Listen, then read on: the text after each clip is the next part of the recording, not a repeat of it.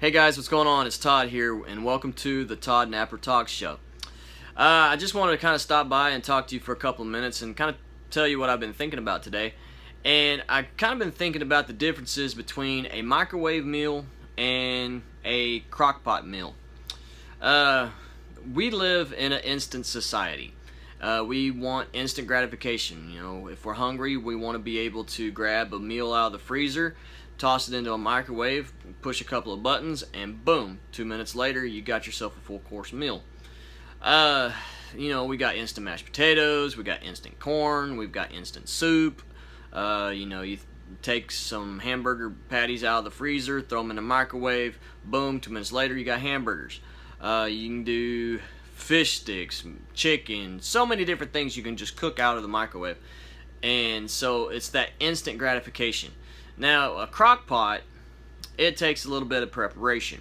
Uh, you have to get some water, you have to cut up some vegetables, uh, you have to cut up some meat, you got to let it simmer, you, there's some, you got to let it, you've got to add some flavor to it. Now, I'm just kind of going off of what I've seen here. I've never actually done this myself, so I'm not a true expert by any means and no means of the stretch of imagination. So I'm just kind of hoping that the things that I'm talking about that go into a crock, crock pot actually exist because frankly I have no idea. Uh, but what I have seen, you know, you've got some corn, uh, you got some potatoes, uh, you've got some carrots. Uh, God forbid you put some onions in there. Hate onions. Uh, then you have your meat. Uh, whatever type of meat you want to put in there, you can do steak. You can do um, you could do uh, what's this, the other thing that I'm thinking of? You know, you could do chicken, of course. You could do chicken. Uh, you could do uh, what in the world is that roast? There we go, pot roast. You could do a nice little pot roast in there, um, and then you set the timer, and you let it sit, and you let it marinate, and you let it slow cook for over, you know, sometimes up to eight hours. You know, um, at least three or four hours. You know, you let this thing cook but once you bite into this roast, it's so tender and it's so soft and it's so good and some of the best meals I've ever had came out of a crock pot. But it was because it took time. Uh, I, I began to think about the differences between the two. You know, you have instant gratification, you know, decent meal, but not okay, but it's usually gone pretty quickly. Uh, but then you have the nice crock pot with the nice meal that comes out of it and some of the best some of the best tasting food you'll ever have. And I began to think about the correlations in our relationships uh, that way. Uh, we live in a society today that we want everything right now, instant, instant, instant. Like I said, throw throw a meal in the microwave. Two minutes later, it's done. You stick some bread into a machine, push down a button. A couple minutes later, boop, there pops the toast. And we want everything right now, right now, right now, right now, right now. You know, send, type out an email, send it halfway across the world, and it's there in seconds. Uh, you know, if you want to order something from New York, uh, you know, you could order it from Amazon or whatever, and you can have it here the next day.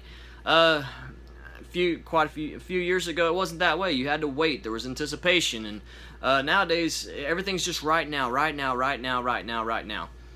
And I began to think about our relationships that way and how that affects our relationships and affects our friendships. Because if we're not careful, we begin to look at our friendships as instant gratification. Uh, we want to build a relationship with someone right now. We want to have a deep, emotional, heartfelt relationship with someone, and you've only known them for two days. Um, and it's one of those things where you want what married couples have had for 50 years, you want it in two days. And I've been in this little I've been in this little journey myself the last year or so, and I know I know what it's like to think of how I just wanted to, you know, have a nice relationship with somebody, and but have it in a week. Um, and I began to learn as I went through this process that if I wanted to build something that lasts, it's going to take time. It's going to take preparation on my part to look within myself and see some things that I know that I needed to change and to know that I needed to work on to prepare myself to have this long-term relationship. Um, it, and to be able to uh, thrown in a co- crock pot, so to speak. You know, I, too many times we want to have an instant relationship. We want it to be a microwave relationship. And the problem with that is we try to put something together for so long and have something that's so good, but yet because it's so shallow, it's so quick, it didn't have time to grow, it falls apart. And we see friendships that just fall by the wayside, you know, time and time again because we're just so focused on the instant gratification right now, right now. We need that relationship right now, right now, right now. Whenever we haven't looked in on ourselves and say, you know what, what can I contribute to this relationship? What can I contribute to this friendship?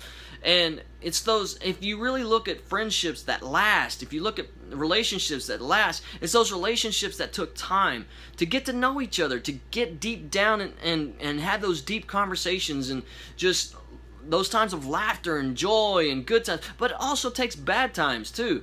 To because if you just have an instant gratification relationship, if you just have one of those instant relationships, the first problem that you come against, it's gonna fall apart.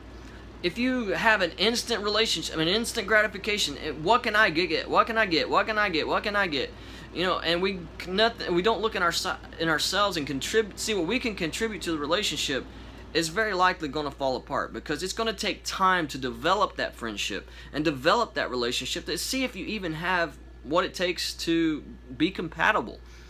And, and that goes with our relationships, but also talk and goes the same with God. Uh, too many times we think, and I've been in this same boat, and I've felt the same thing that, you know, I feel like I should know everything that I should know about God all at one time and just should know everything that God has for me in my life all at one time. I want to know now, God, now, now, instant gratification. Instant, I want a microwave relationship with God. I want, but the problem with that is, is it cheapens our experience. It cheapens our experience with God. Uh, if we don't take the time to spend the time in prayer, to spend the time in reading the Bible, and spend that time in study, if we try to just get something instantly from God, then it cheapens our relationship. It cheapens that experience. So if we begin, if we want to have a true, strong, deep rooted relationship with God, He's not going to show us everything all at one time. He's not going to show us all that we need to know about Him all at one time. So we need to spend time with Him in prayer. We need to spend time with Him in Bible study. We need to spend time. If you want to get to know somebody, you need to spend time with them. Talk to them. Get to know. Get to get to really truly know them and then you'll be amazed to see how deep that relationship goes. And you might be surprised to find out you just might have had a best friend and didn't even know it because you took the time. So with God, spend time with Him in prayer. Spend time with Him in Bible study and reading the Bible and slowly, slowly, slowly over time. There's going to be some times He, bam, He does give you that awesome revelation of Him all at one time. But that's just a small part of Him. He wants to show you more. So, my advice to you today is don't be looking for a microwave relationship. Don't be looking for those microwave relationships and friendships, especially with God. But go deeper. You want to have a friend for life? Spend some time with somebody. Get to know them. Too many times we make snap judgments because of just that one experience because we want we want that instant now, now, now. Not all good things come instantly. Sometimes the good things comes to those who wait.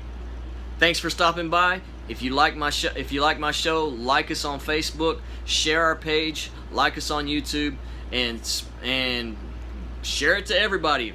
Let's get some people liking this page, man. Thanks.